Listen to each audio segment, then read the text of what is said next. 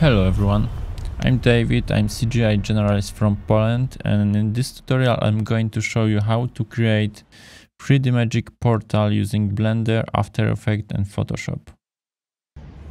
Here is behind the scenes on the location and now I will give you some tips to create great footage for motion tracking. Blender needs at least 8 points to calculate motion of, of the camera. Uh, so when you're looking for location it's uh, good to find a nice contrasty floor with high contrast patterns or or some tiles or maybe mm, bricks like on, on this preview. This will help us find nice tracking points. Uh, your footage should be sharp with lots of details, so set maximum resolution available in your camera. Uh, you don't want any motion blur. To get rid of motion blur, set your shutter speed 1 over 200. Uh, it's important to turn off IBIS or electronic stabilization because it bends perspective and will confuse motion tracking. Uh, if you want smooth movement of the camera then you can use gimbal or steadicam. And remember to, to keep tracking points in the center of the frame and always in the focus. In this case I am using Ronin gimbal with Fujifilm camera in uh, 6K anamorphic mode.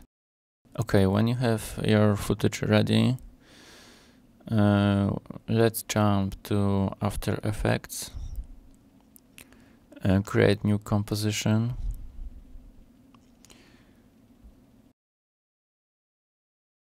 Uh, you can simply drag and drop your footage to the composition. I will add new adjustment layer and effect blur and sharpen and unsharp mask.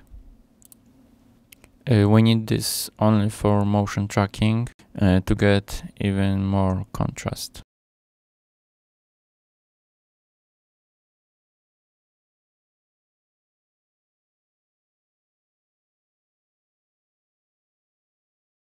Uh, in next step, uh, let's select only the part where you need motion tracking. So the portal starts when when my foot lands on the floor. So it's around here and all the way to the end. Make sure your composition is active. Select composition. Add to render queue select output folder and name. Set quality to Apple ProRes 444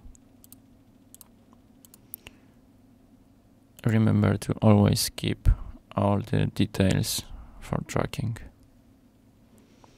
Hit render